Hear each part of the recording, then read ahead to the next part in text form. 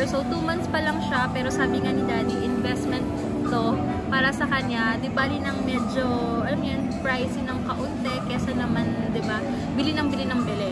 So, ngayon, mas wise na kami. Ah, sobrang thankful kami kasi nagkaroon na kami ng mga dogs before. At least dati bili ng bili-bili, konting, ano, parang every month bumibili kami. So, ngayon, wise na kami. So, ayan, ito pala yung dog namin, si Buddy. Ayan, check nyo na lang dyan. Super, as in, cute niya. Ayan yung binili namin. Ayan, para rin siguro itong video na to, parang itong video na to, para na rin sa mga may dog din or gustong magkaroon ng mga Ilang ng ilang months na siya? Say something about him. So, ah, si Buddy ay 2 months old na siya. So, ayan. Wala What color? And, uh, Ayun sa picture, pinakita ko na. So, ayan. Ito, binili namin to sa ah, Dogo. Nasa gitna siya ng ah, Starbucks sa may BGC. Tumitingin ako doon kasi check ko. Medyo check namin anak namin sa Toy Kingdom kasi. Ito Dogo. Ito yung nakita namin.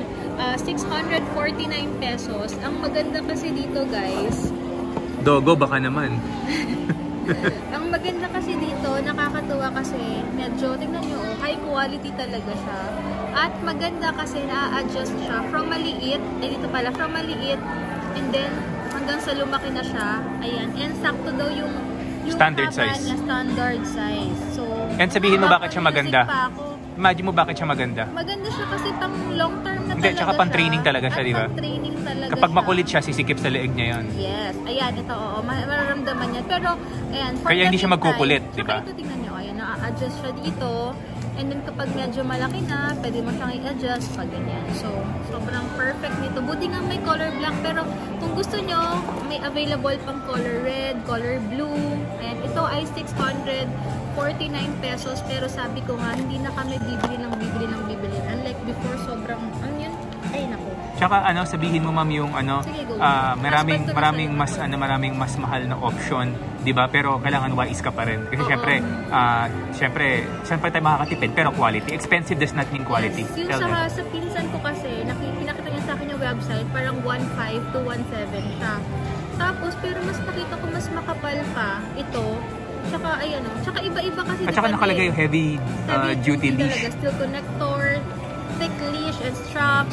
Heavy, heavy duty talaga siya. Ayan. And so, super thick talaga. Makikita mo naman sa quality. And ito, bumili kami ng treats niya. 2 to 3 pieces lang daw to. Ang price ito, it's 149 pesos. Sinasabi ko yung price kasi para sa mga gusto magkaroon ng dog or ng golden retriever. Kasi ang dami natin kinanvas kanina, 'di ba? Yung iba mahal. Iba naman mura. May nakita tayo tag 80 pesos, di ba? Oo. Ayan. And then, Pero yan kasi specific for puppy treats yan. Yeah, correct. And then ito, ito yung na-recommend sa aming multivitamins. May nakita kong LC, yung kay, sa kay Bingo before, LC yun, LC Vit. LC. LC Vit siya. Pero ito, Growth Advance, sabi nung vet na nakausap ko, 5 ml. Pero nakalagay yata dito parang 3 ml lang depende. Ayan. Uh, 1 to 6 months, 1 ml per puppy. Ah, pag large breed siya, ah, ayun, 3 ml per puppy siya. Pero sabi sa akin nung ano, 5 ml ata. I5 mo na. Pa-5 ko na lang. At ito pa yung binili namin. Wait lang. Ito. Ito ay 199.75. Sa That's saan one- yan? Sa Dito ay binili namin pala to sa Pet Express. Di kita, Available di yan. kita. Wala. Baliktad. Pet Express. Baliktarin mo. Baka naman. Ayan, Pet Express. Baka naman. At tumatanggap na rin po pala ako ng mga sponsorship sa mga ibang brands ng dogs.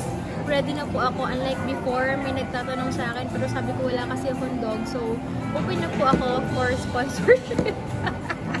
Kung saan po makakatipid. Ayan.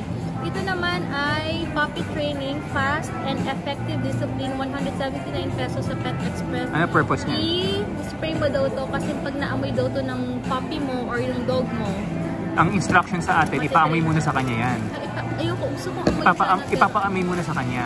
And then, pag after niya amoy yan, i-spray mo ngayon yan dun sa mat na binili mo. Yes. Tatlong spray lang daw. Oo. At ito ay, kala, kala sabi ni Daddy 1,000 daw to. Hindi, yung isa yun, yung isa yun. 499 pala. Yung isa yun. Oh, this one is 499. Binili namin to kasi may, naka, may mga nakausap kami na as much as possible, up to one year, wag muna siyang ilalabas. Kasi for safety na rin, lalo na pag tuma, sobrang critical daw talaga kapag yung golden retriever, ganong mga age. Siguro for all dogs naman, pero Oh, in general. in no? general naman, but yung Mabuti mga safe. nakausap namin, better than... uh, Better safe be- than sorry. be- better safe than sorry, guys, talaga. So, So yun, yung grass na yun, pang potty train yun. Mm-mm. Pang pupu, pang ano, di ba? Uy, At si daddy na bahala, siya na lang bahala mag ano nito kasi gagawin mo daw ipag-spray mo ng 3 ano, 3 times. May nakausap kami Shih Tzu, effective for 3 months daw. Okay naman, nasa masanay na hanggang siya. sa masanay na siya. Kumbaga Siguro initial yan. mai-immune na siya. Tas, Oo. ah, in fairness naman talaga, sa Golden Retriever, guys, sobrang daling turuan talaga. Sobrang thankful kami kasi ang daling-daling turuan. So, check natin sa mga susunod. Magiging active ako. Follow niyo yung TikTok account ko, TikTok account, Instagram account ko para kung gusto niyo makita yung yung progress, yung mga updates sa aming Golden Retriever na si Buddy. And ano lang kayo, um, check nyo lang lagi kasi lagi ako magiging active kung lalo sa mga dog lovers dyan or kung sa mga yung mga ah, maging gusto maging fur parents ba yon Mm. Ayan, kung kung nag-iisip pa kayo ng mga bibili niyong dog, perfect na perfect ang aking content. Ikaw, pang ilang beses mo na ito naging fur parent? Tatlo na. Pangatlo na. Sino, sino yung una? Sino yung una? Una si Peanut, bigay lang Ano yung sa anong amin. breed yun? Ah, Aspin. Mixed eh. Hindi, Aspin, hindi Mix ba? siya, mix siya, dad. May Hindi halo siya? Ay, may halo yun. Tapos, Tapos? yung next is Beagle. Sabi ko nga, sabi ko ni reason sa, kung gusto niyo makita, kung gusto niyo malaman kung bakit at nasa na yung Beagle namin, panoorin niyo lang yung video before this one. Check niyo na lang Asan? doon. Nandun yung story. link? Try Itataas ko mo? ilagay yung link pero before this video, i-upload ko yung vlog ko kasi nag-vlog ako kanina dito sa Hmm, okay. about doon sa ano about sa beagle namin and then after yung last na talaga hindi, hindi mo sabing last pero malay nyo kapag ano in the future madagdagan pa Ano masasabi mo sa pagiging fur parent ngayon? Ulit na you're, you're back to the journey. nakaka-excite kahit magastos pero iniisip ko na lang is parang ko na makakabuhay kami ng bagong dog. Kasi sa iba siya mapunta natin alam yung magiging baka mamaya pag kita ang kabuhayan lang at least kami talaga assure namin talaga na alam niyo ma maaalagaan sobrang nakaka-excite. Ang sarap mamili. Para kang bagong may sanggol. Oo. Ako nga, di ba, gumigising ng ano? Si daddy, nakakatuwa yung husband ko kasi talagang gigising ko ko, dad, parang si ano, nagising siya, parang pumupo. Mga 2 a.m. yata, Wala, 2.30 wala a.m. siyang reklamo. Naisip ko kayo na umaga pag gising ko yung asawa ko, parang ano to ha, parang may bago na naman kaming anak. Na, pero at least wala akong narinig, narinig sa kanya, parang dedicated talaga siya. Na nakita ko naman yung parang, alam mo yun, ko, bait talaga ng husband ko. Kasi sa aso pa lang siya nagreklamo. Willing talaga siyang linisin, nagigising siya. Siya parang, ano ba yan? Wala kang maririnig na mga ganito. Natuwa naman Tapos nilalabas ko pa, ano? Kaya swerte talaga yung dog mo talaga. Kasi ngayon, sobrang thankful din kami sa work ni daddy kasi nga, may time, parang work-life balance talaga. So, at least, di ba? Tsaka may- iba yung joy, no? Na Iba yung joy. Kasi masabi ko, may content ako for that. Kung Okay. ano yung mga na-realize ko after one week ng aking aso at anong changes sa mental health, etc. Mm.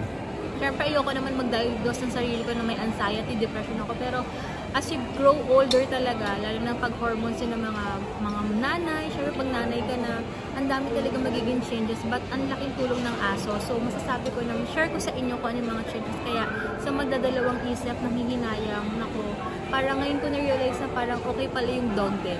Pero syempre, ah, wag lang din tayo puro dog minsan. Ah, isipin din natin na syempre mas masarap din magbuo ng family na kasama yung dog na may anak ka na tuwang-tuwa sa aso niyo na pa, as a family kayo talaga yung mag kayo talaga magpapalaki. So, huwag niyo din kalimutan yung sarili niyo kasi minsan syempre na overwhelm tayo na puro dog-dog na lang ako, ayoko na mag-anak or what. So, Syempre, si, B, so, si. Buddy, ano, ano, ni-spoil mo na naman. sabi ng husband ko, ini-spoil ko na naman daw. Pero kasi, wala. Gusto natin syempre only the best, di ba? And syempre, hindi rin kad ganun kadali yung breed ng Golden Retriever naman talaga. Talaga, Alam mo, parang pal- feeling ko lang, nadaanan natin lahat, no? Small breed, si Peanut. Ay, medium, medium, si Beagle, tapos ito, large breed. Tuwan-tuwa ako pag pinapakain mo siya. Kasi parang ilang seconds lang siya na kumain. Ang sarap niyang kumain. Tignan kasi ang bilis niyang kumain. Pero grabe lang yung wiwi. Sorry for the word. Sa tubig, pero? TMI, yung wiwi niya. Pero yung water, ang sarap niya uyong ng tubig, kumain. uminom ng gatas kasi seconds lang guys. Grabe parang sa, parang feel na feel mo na parang pinapakain mo yung anak mo na parang yung vitamins, nutrients. Tapos quality milk and everything. Quality milk. So ah, kami as much as possible for 6 months wala mo na kaming ihahalo na rice. Puro ano muna. Puro dog food as much as possible. Kaya And milk. and milk. Kaya, guys, kung gusto niyo maka-help din sa akin, umorder na kayo sa Ukaya ng Kitay by Dato Santos. Kasi medyo mahal po ang maintenance And then dog. ano, and then ano yung mga plan mong gawing contents sa naabangan nila? Aabangan nyo sa ah, content ko or con- magiging content ko soon is yung ano yung changes sa akin, ano yung, ano, anong tulong sa akin na nagkaroon ako ng aso. Tapos, ano, uh, one week living with the golden retriever or a month living, a mo- with, or a with, month, with a week golden, or a month. with the Tapos, golden retriever. Yung progress niya, gusto ko i-share kasi syempre memories ko, wala akong wala akong mapag-aanuhan eh, wala akong mapagsastakan or masasave ng mga videos. So gusto ko, as much as possible, sa vlog din talaga, i-vlog ko siya everyday. Actually, everyday, gusto ko yung progress niya everyday. Kung, kasi ang bilis lumaki. Kung nakita niyo sa TikTok, yung mga ah, golden retriever, grabe yung 2 months, 3 months, 4 to 7, ang laki na talaga niya. So, na-excite ako. Tsaka gusto, gusto ko talaga yung dog na malalaki talaga na parang, di ba dahil sinasabi, nauna lang talaga yung beagle kasi si daddy yung gusto niya talaga. But anyway guys, thank you so much. And sana na-enjoy nyo to. Ito lang muna. Kasi ito lang alam naman ako, sobrang practical namin sa life. Siyempre, di ba? Maraming bills and maraming mga connect So, ito lang yung mga ma- marirecommend ko na mga kailangan talaga para sa ating mga ah, mga fur, fur parents ito lang pinaka-importante for us. And diaper, hindi kasi muna siya ilalabas, pero may extra doon.